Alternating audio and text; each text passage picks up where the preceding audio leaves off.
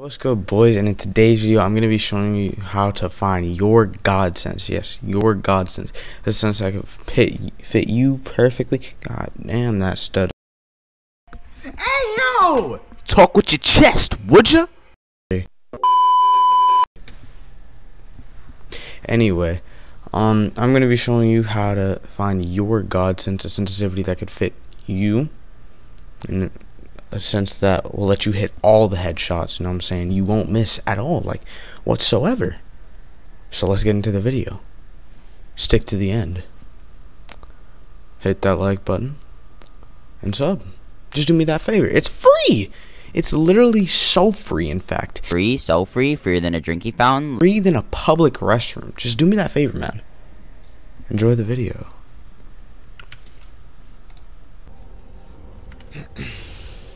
Alright boys, so now that I'm in creative, I'm going to be showing you how to find your God sense while I warm up.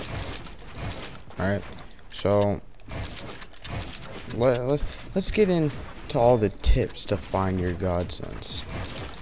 And I'm going to show you how you can find your God sense, alright? So, so tip one, it's nothing really special, but it's definitely the most important tip of them all. Um, don't copy your don't copy anyone else's settings. If you copy someone else's settings and expect to be just as good as them you're wrong. You're gonna if you copy someone's settings you're gonna become less consistent. You're not gonna be as consistent as that person. And you probably won't even hit the same shots as that person.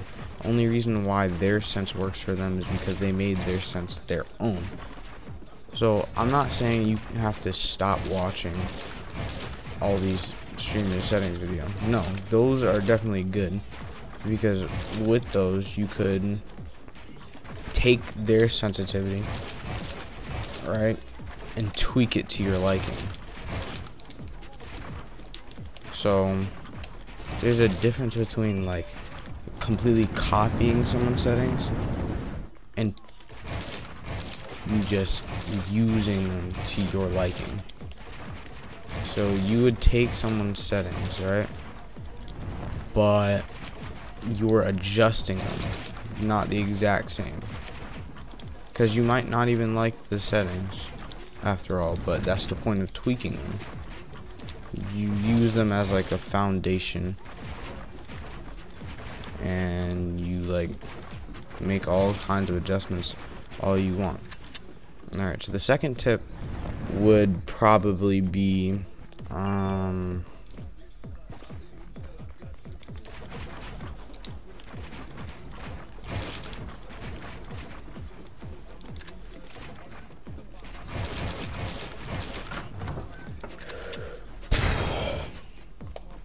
Alright, so that's tip one, y'all boys, and basically we're gonna start the video off now. Alright, so these are my settings, obviously. You know. The God settings, I don't mess with these, you know what I'm saying? I don't mess. If you want to see my HUD, all you really need is this. I'll get into that in a later video. Whatever. Alright, so these are my settings. I play 5-6. I can play 5-5, but I just play 5-6 just because. Alright, so what you would do, you would use these as a foundation, right? These are my settings. And you notice I'm on linear and my sensitivities aren't the same. Like my horizontal, like this, is higher than my vertical. It's not the same. That's because when you're looking up, you can only look up so far. When you're turning, you can turn infinitely. So, what that means is to make it just about even, you would need to have the actual like sensitivity. Like say you wanted um you wanted 44% um um say you wanted 44% look, right? What you would do is you would take this down to 39 so that it's even because all it's doing is making it uneven. Now I know that doesn't really make sense, but It's hard to explain. Well, I basically explained it already, but if you skipped, which I don't know why you would be skipping on this video, um, you can only look up so far, but you can turn infinitely. But when you have it the same, um, when you have this percentages the same, it's actually faster than what it actually would be. So if you have it like maybe 5% lower, that's just about even. It's just about, it's perfect. You don't need to go like 10 lower. You don't need to do that. Alright. Next, I have my build and edit sensitivities. I have this lower, and it's not really for the same reason.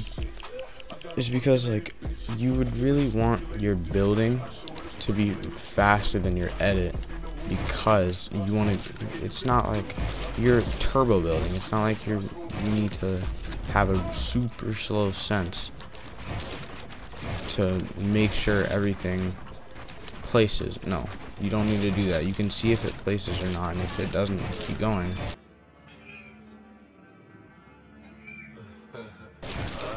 but for editing it's different you want to have a slower sensitivity to make sure you hit all the tiles. Like, alright, let me change it to um 20. Like, it's not really. Let's see, just right there.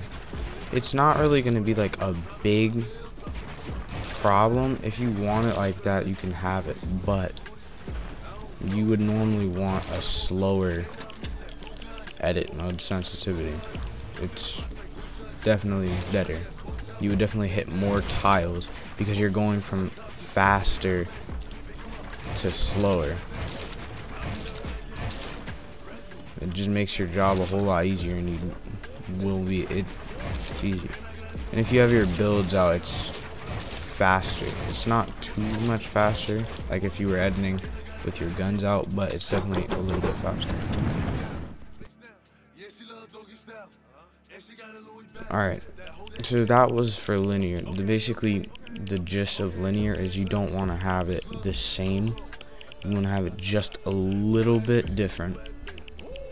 Alright, now for exponential, the way expon like an exponential graph would work is it's rising. It's not the same like linear. Linear, your sensitivity is the same. It doesn't change. It doesn't. It doesn't dip. It doesn't raise. It's the same. But for exponential, you start off slower, and then you get faster. So basically, you would want a slower sensitivity for exponential because it's going to raise over time. And also, so you, the difference between the two is you would want this, you would want them the same. But because it's all about time it's a little bit different. Basically look dampening time is it just eliminates the amount of time it takes to raise the sensitivity. So if you had it like at 10 to 15 10 to 20 is good. It's with the right settings it'll feel like linear. 100% I or not percent it's not it doesn't work in percentages. It works in decimals. So one second. See how it just raised? And stop moving that's not good. You want it to start off smooth but but you don't want it to start off really slow. So basically it's going to start off a little bit faster but it's not going to be too fast to where you can't control it. It's definitely different though. Like the way exponential works is once your analog stick goes back to the center of where it started it's like it's like a graph imagine right so the line it it went up but then it went back down and it's just staying there but once you move it again it's gonna speed up So basically, is you don't really want to keep like you don't want to stop moving. You want to keep moving so that you don't like get pauses. Like right there. I had a pause right there and I fell. So basically you would want to keep moving.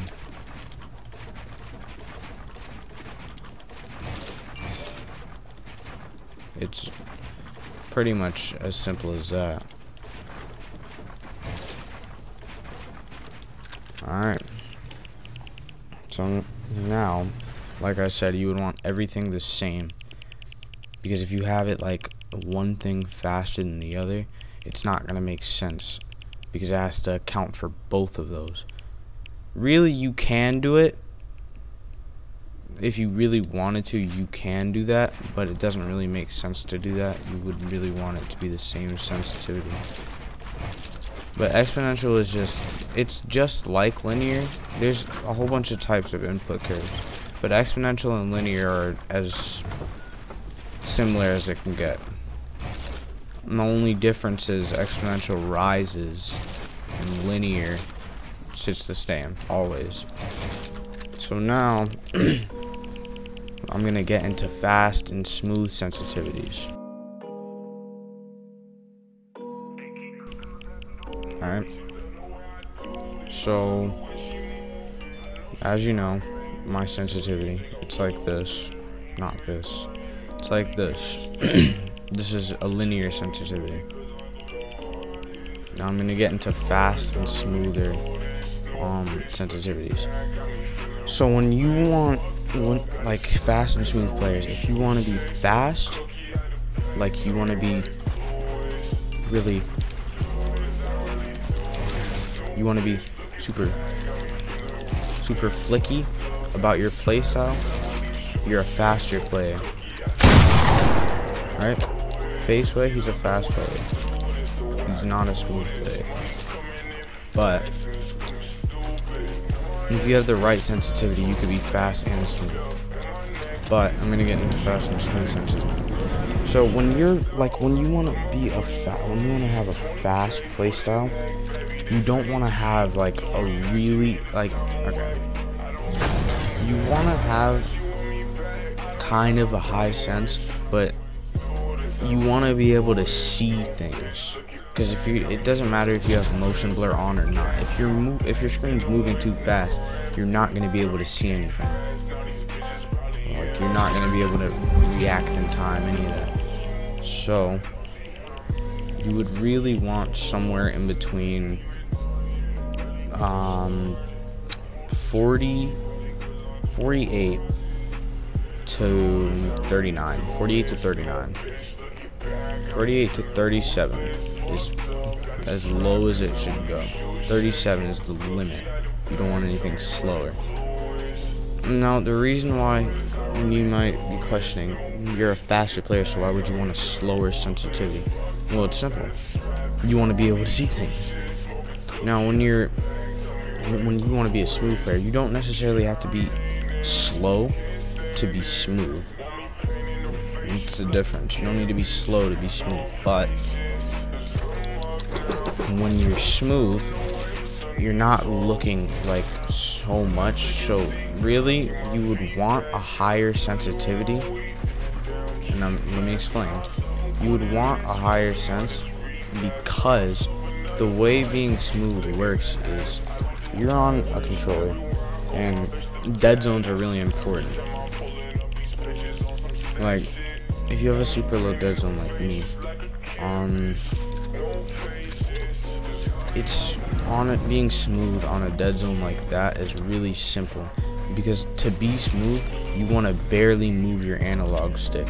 Like all right put your analog stick to the center right?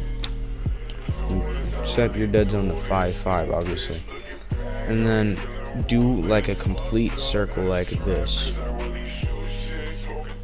but you're gonna you're gonna barely move it you're gonna do a complete circle without like pushing your analog stick all the way to the edge of the controller. That's also how you hit better shots. That's how I hit all my shots. How I don't miss. Alright? So you would really want because since you're barely moving your analog stick, you would want a higher sensitivity to compensate for what you're losing as to being smooth. So you're really like you're full boxing everything like like that. I barely move my analog stick. Yeah, I could piece control somebody up so easy like that. But you would really want a higher sensitivity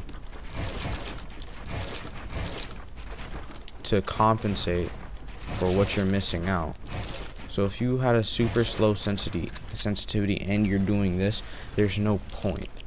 You're not going to be able to turn fast enough. You're not going to be able like if someone's behind you, you're not going to be able to react and shoot them.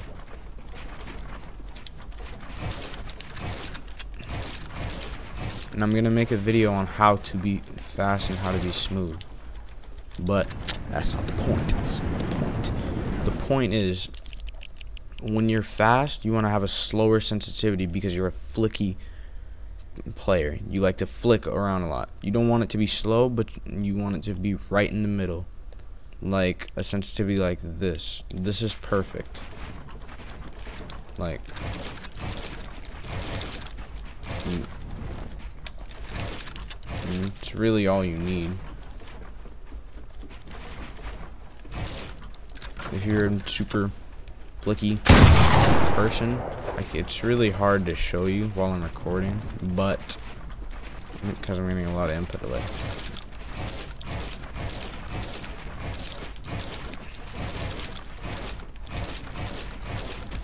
Like that. You would have a mid sensitivity so that you have more control so that you're not like flicking past where you want to be when you want to have a, when you want to be a smoother player since you're barely moving your analog stick you would have a higher sensitivity basically to counteract you barely moving.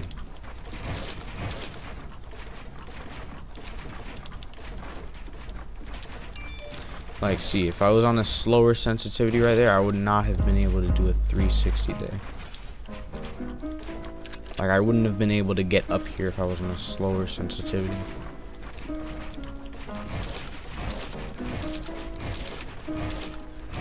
Like you wouldn't be able to do something like that. You wouldn't be able to do something like this.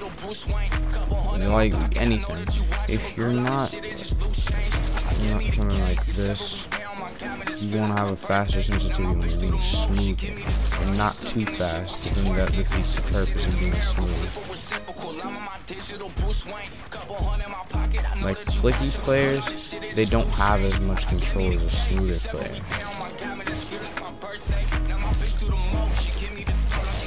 Like if I did that I messed up because I was on a flickier playstyle on a higher sensitivity. So basically what I'm saying is you're barely moving your analog stick, so you want to have a higher sensitivity. If you're moving your analog stick completely, you want to have a lower sensitivity to have full control. Basically, controller, for controller, it's all about balance. It's really what you want. You want to have balance in your sensitivity.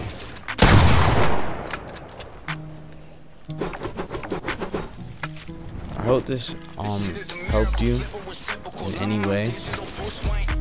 Um, I'm gonna be making a part two eventually, but I just want to see if people, if this helped anybody. To be honest.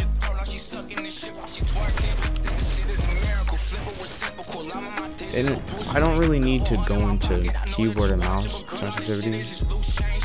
They can be the same or they can be different because when you're on keyboard and mouse, a mouse is flat.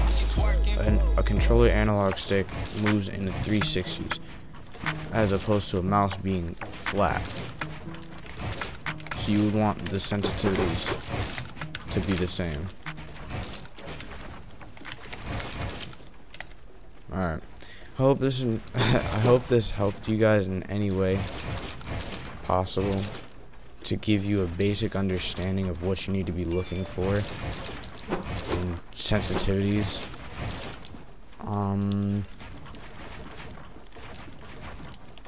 I'm gonna be doing a binds, how to find your binds for controller or keyboard. And anyway, like, and I hope you guys watch that because it might help you as well. So make sure you sub with noties on to see that. I wanna have two uploads today. I don't know what the second video is gonna be yet, but I'm gonna try and have two uploads today whenever this is being uploaded. The day of this recording is January 28th. I hope um I hope you guys give me some positive feedback if I should do another video like this. And if this helped you guys in any way, share this video with a friend. Let me know if it helped you.